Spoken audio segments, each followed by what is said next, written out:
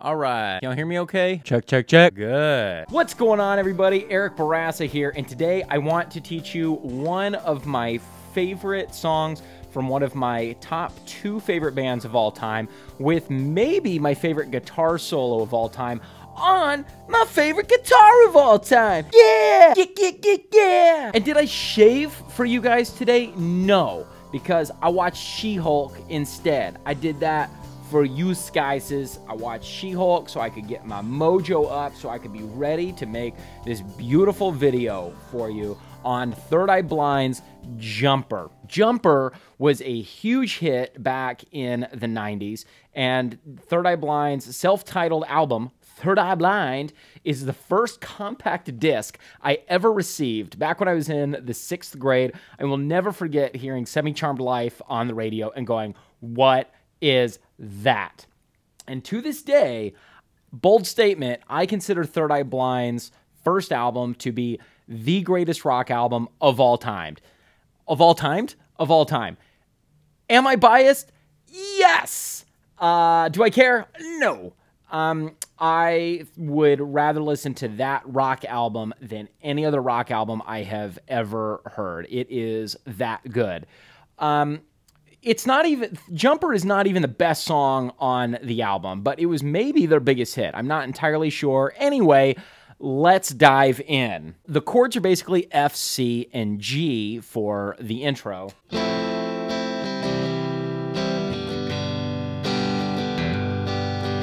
I wish you would step back from that ledge, my friend. You could cut, cut, cut, cut time. And anyway, not a great singer. So basically just F major seven. So you can leave that first string open on that F. Regular old C. On G, you could do the four finger G, which is probably more accurate. Um, but I actually like the sound of the three finger G on this song, which is pretty unusual for, for me. And then you can add this little at the end uh, where you just lift off finger two on string six, open string, hammer to three, and then hit one of either the fifth string or the fourth string after, and then strum. Yeah, yeah, so we got.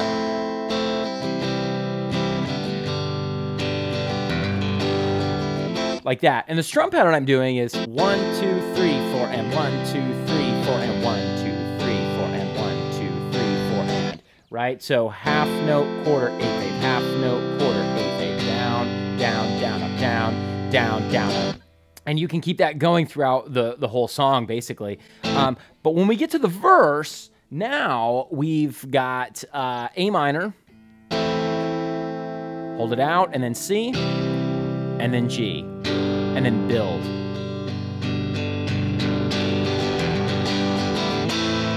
Mm. right? So the yang, the yang, I can't say it. okay, so I just want to talk about this part of the verse, A minor to C, and then you go to the G chord, then you're gonna hit an open G, turn your wah pedal on. So you've got your wah pedal cocked back, and then you're slowly gonna bring it forward, like this.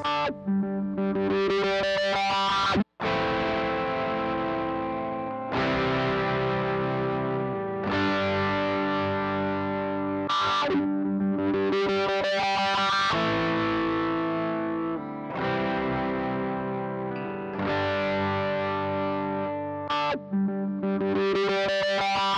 then we do that a couple times, and then the third time through, we do A minor, D, C. And then here, you're gonna take that C chord and slide the C shape up two frets to make a D, add 11.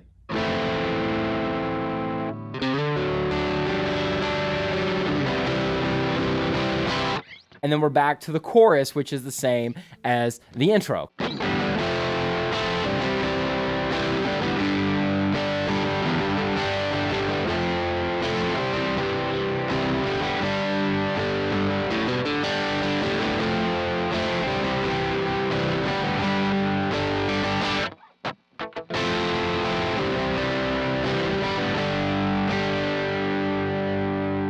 After the chorus, it just continues doing F, C, and G over and over again. And then uh, the bass kind of has this little bass solo thing where it's an F to a C to a G, kind of like a.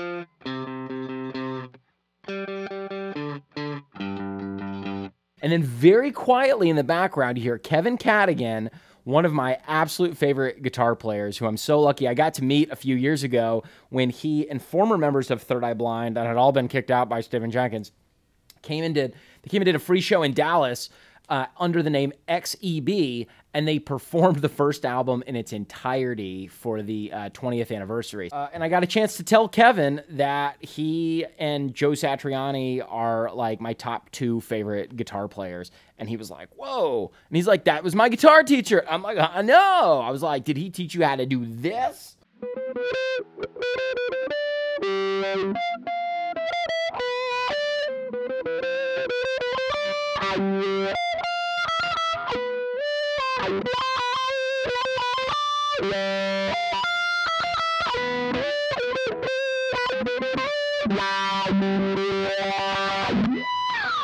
Basically, what's happening in solo is you've got think uh, C C major scale B C B C B C B C D G, and then we go to the first string 13 and 12.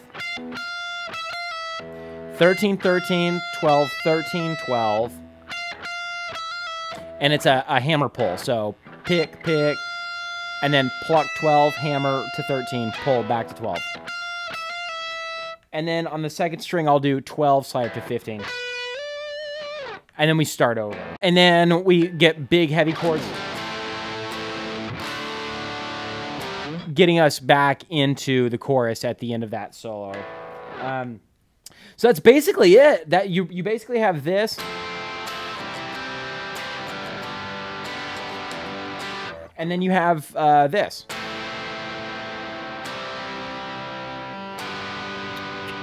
Twice, and then a third time.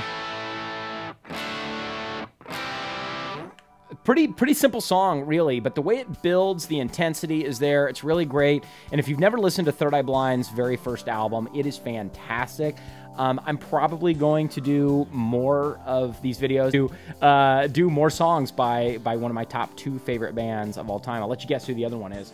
So uh, if you dug this, be sure and like and subscribe. I'm going to be doing many more Third Eye Blind songs. This is one of the easiest, along with Never Let You Go. Um, but as we get into it, it's going to be become harder because of some weird tunings that uh, Kevin likes to use. And uh, yeah, stick around for more, and I'll see you guys in the next times.